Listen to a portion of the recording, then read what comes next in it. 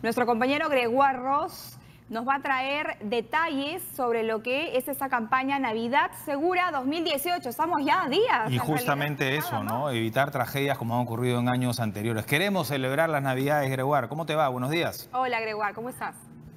¿Cómo estás, Perla? Nicolás, muy buenos días. Definitivamente que una de las mejores épocas del año es la Navidad.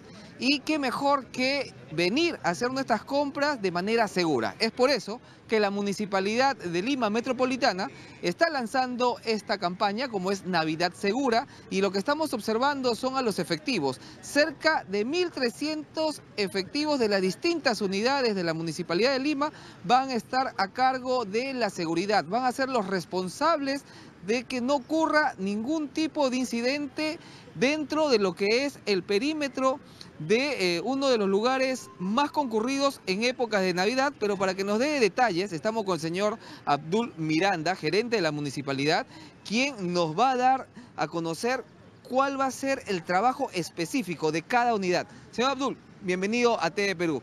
¿Cuál va a ser el trabajo específico de cada unidad? Porque vemos a miembros de rescate, miembros de, eh, de tránsito, a los efectivos de las distintas unidades motorizadas, incluso a los miembros de la unidad canina. Así es, ¿qué tal? ¿Cómo están? Buenos días. El día de hoy ponemos en ejecución el Plan Navidad Segura, como tú lo has mencionado, con la finalidad de dar las garantías a los miles, miles de ciudadanos que vienen a realizar sus compras acá a este gran emporio comercial de Mesa Redonda, el Mercado Central.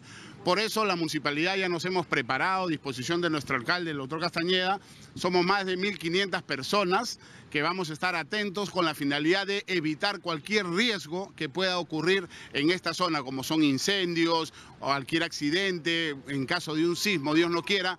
Todos estamos preparados para evitar y minimizar cualquier riesgo que pueda ocurrir. Cuentan con el apoyo de los bomberos, vemos a las enfermeras, vemos a los doctores, todos están preparados para actuar ante cualquier eventualidad que pueda ocurrir. Así es, todas las áreas operativas de la municipalidad han sido dispuestas y contempladas en este gran plan de operaciones. Ustedes pueden ver a los hospitales de la Solidaridad, ya han instalado su hospital para poder atender a cualquier ciudadano que sufra cualquier este, emergencia médica. De igual manera, las distintas áreas operativas de la Municipalidad de Lima, la Brigada Canina con el Serenazgo, la Gerencia de Transporte Urbano, Defensa Civil, Fiscalización, en fin, todas las áreas operativas que tienen que ver con la prevención de cualquier riesgo, estamos comprometidos desde el día de hoy hasta el primero de enero ya con la nueva gestión que viene. ¿no? Muy bien, muchísimas gracias, don Abdul, pero vamos a regresar más adelante porque sabemos que va a haber una demostración de pirotécnicos, vamos a, vamos a ver también cómo es que los miembros de la unidad canina, y estamos observándolos,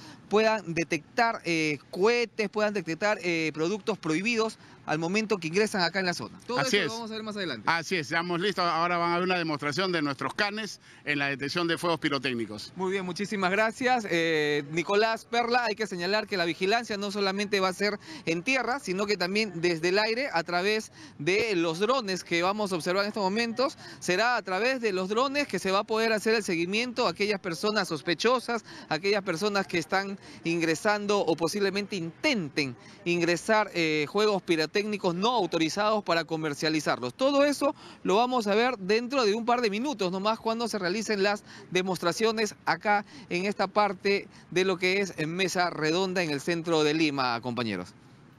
Gracias, Gregoire. Efectivamente, vamos a regresar contigo más adelante para tener detalles sobre esta campaña importante de seguridad en estas fiestas que ya, ya estamos viviendo todos. Pero insisto, las autoridades pueden, lógicamente, hacer que se respete el principio de autoridad, utilizar las herramientas para brindar seguridad ¿no? a eh, los visitantes, pero todo queda también en manos de los propios empresarios. Así es.